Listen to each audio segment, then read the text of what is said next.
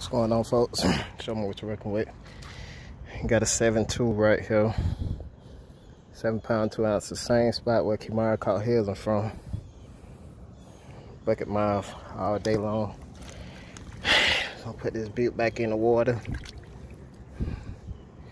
She did me good too. Thank you. Thank you, baby.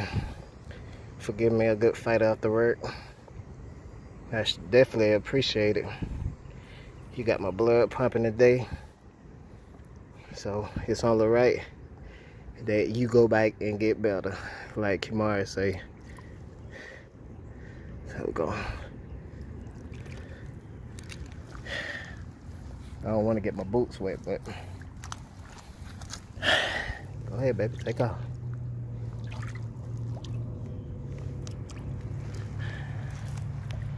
There you go big girl Show me what you reckon with.